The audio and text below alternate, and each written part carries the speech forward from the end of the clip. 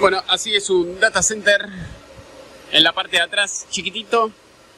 Como podemos ver es todo pura cámara de vigilancia acá.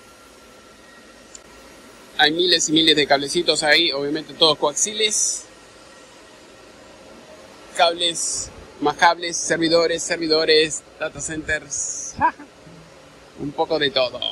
Bueno, ahora te voy a mostrar los nuevos conectores con candado. Entonces acá como puedes ver este es el conector típico de PC y acá estamos obviamente en un data center. Acá tenemos esto que va en un servidor. Entonces cuando lo dejamos abierto por ejemplo y lo enchufo, obviamente si yo tiro para acá se sale.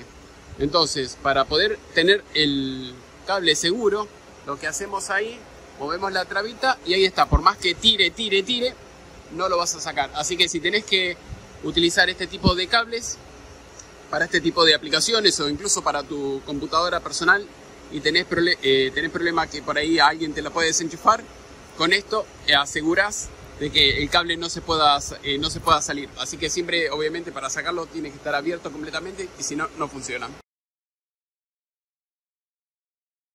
Estos van a la zapatilla esta o la regleta, como le quieras decir. También tenés que apretar acá el botoncito ese de ahí para poder eh, sacar el enchufe, si no, no lo puedes eh, sacar, por más que tires de acá, es otra forma de tener todo asegurado.